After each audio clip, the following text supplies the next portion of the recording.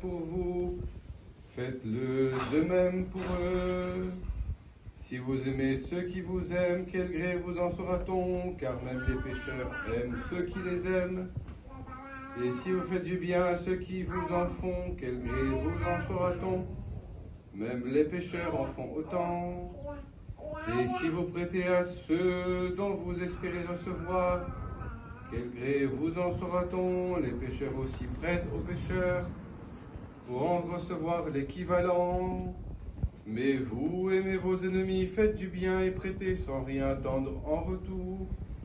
Votre récompense sera grande et vous serez les fils du Très-Haut, car il est bon pour les ingrats et les méchants. Montrez-vous donc miséricordieux comme l'est aussi votre Père des cieux. À toi, Seigneur. Tu peux le lire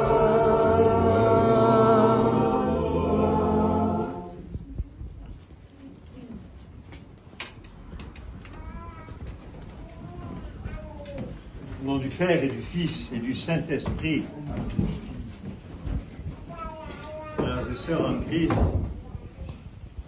nous venons d'écouter l'un des évangiles parmi les plus courts.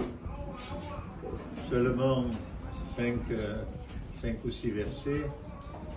Euh, et sûrement l'un des plus compliqués à vivre pour chacun de nous. Aimez vos ennemis.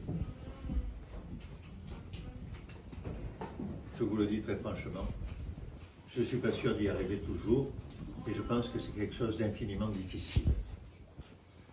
Comment peut-on aimer ses ennemis Comment peut-on aimer celui qui nous fait du mal Et du mal qui éventuellement nous a fait très très souffrir? C'est une expérience que j'ai vécue une fois dans ma vie.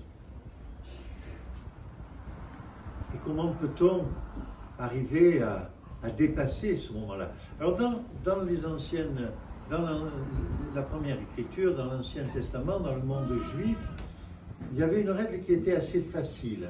Il suffisait de faire à l'autre ce qu'il nous faisait, d'être quitte-quitte. Alors si il nous faisait un peu du mal, on lui faisait un peu de mal, il fallait que ce soit proportionné, mais c'était juste. Voilà. C'est pas ça qui nous est demandé. C'est pas ça qui nous est demandé. Et vous avez entendu vers la fin du texte, soyez miséricordieux comme votre Père céleste l'est.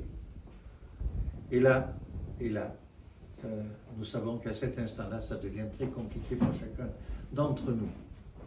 Le Seigneur, dans cet évangile, nous demande rien d'autre que d'être à son image, d'être les témoins de sa miséricorde. Alors, si nous intégrons ça en profondeur au fond de nous, peut-être, peut-être, ça va devenir un petit peu plus facile. Parce que nous serons véritablement les relais dans ce monde de notre Dieu et Sauveur Jésus-Christ. Et si nous nous positionnons comme ça, c'est pas nous, avec les faiblesses de notre nature humaine, avec notre esprit vengeur, râleur, et, puis toutes les qualités qui sont les nôtres. Mais enfin, il y a quand même aussi de, quelques défauts dans ces qualités. Mais ça sera le Seigneur lui-même qui va agir en nous. C'est la seule solution pour aimer ses ennemis. Un jour, je me, je confessais euh, à la tosse. Alors on ne doit pas. Il y a le secret de la confession, vous savez, mais elle, elle est pour le prêtre. Si celui qui se confesse a envie de dire quelque chose, il peut le dire. Je me confessais donc à un des pères spirituels que j'ai à la tosse. Je ne me confesse pas trop souvent, hein, une fois tous les deux ans, euh, c'est pratique si vous voulez. Et j'essaie de me confesser quand même entre temps. Et je parlais de cette difficulté que j'avais. Et je dois vous avouer que oh, la difficulté d'aimer ses ennemis. Et je pensais notamment à une situation bien particulière de quelqu'un qui m'avait fait de grandes souffrances, vraiment très douloureuses et, et très longues. Et je me disais comment je peux, arriver à, l'aimer finalement? Vous savez, l'aimer, l'aimer en tant que tel, ça, ça va être compliqué. Peut-être ne devons-nous pas rechercher quelque chose d'aussi haut, mais vous devez témoigner de la miséricorde divine. Et l'attitude que vous aurez sera celle qui effectivement montrera à l'autre, quel qu'il soit, avec lequel vous avez quelques difficultés, que c'est la miséricorde divine qui s'exerce et ce n'est pas votre nature humaine vengeresse et, que sais-je.